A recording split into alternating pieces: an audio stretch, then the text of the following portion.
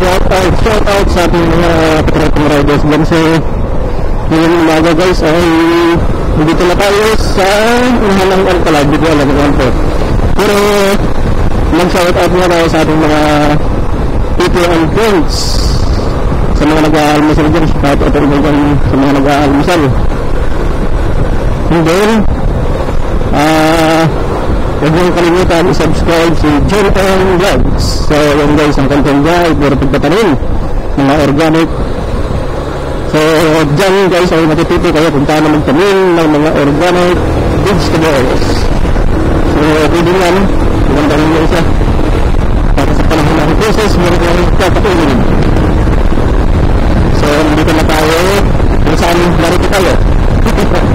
dito tayo sa pinimbutan guys para papunta